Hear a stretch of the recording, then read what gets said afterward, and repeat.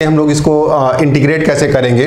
तो सबसे पहले जब क्वेश्चन आपके सामने आता है तो क्या सोचते हो? कौन सा फॉर्मूला लगेगा, है ना? यहाँ कोई फॉर्मूला नहीं लगेगा अभी, क्योंकि अभी इंटीग्रेबल फॉर्म में नहीं है। तो पहले हमें इसे इंटीग्रेबल फॉर्म में पहुंचाना पड़ेगा। मतलब इसको पीसेस में ब्रेक करना पड़ेगा, ताकि हर पार्ट का हमें फॉर्मूला पता हो, है ना? अभी वो, ये उस स्टेज पे नहीं है। तो देखिए, पहुँचता कैसे है ये?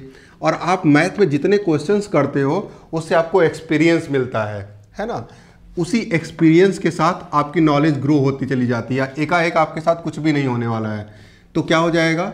टू के नीचे अलग ये कॉस स्क्वायर लिखेंगे और थ्री साइन एक्स के नीचे अलग कॉस स्क्वायर लिखेंगे। तो two by cos square x और minus three sine x upon cos square अच्छा कॉस स्क्वायर को यहाँ पे cos x into cos x लिख रहे हैं।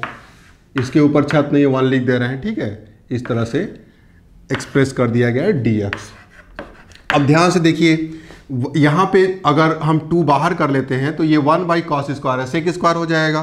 तो it could be written as a integration of two sec square x और माइनस ये साइन अपॉन कॉस टेन होता है तो थ्री टेन एक्स और ये क्या हो जाएगा आपका? सेक एक्स हो जाएगा। अब आपको साफ़ साफ़ दिखना चाहिए कि दोनों ही इंटीग्रेबल फॉर्म में है।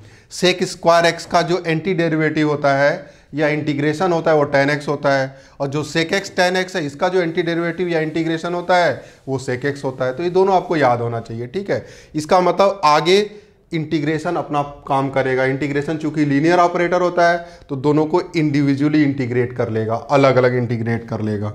ठीक है? तो आप लिख लोगे two times sec square x d x और माइनस थ्री कॉन्स्टेंट है, बाहर इंटीग्रेशन से कर दे रहे हैं डायरेक्ट टेन एक्स और सेक एक्स डी एक्स अब इसका हम लोगों ने बात किया था एंटी डेरिवेटिव क्या होता है?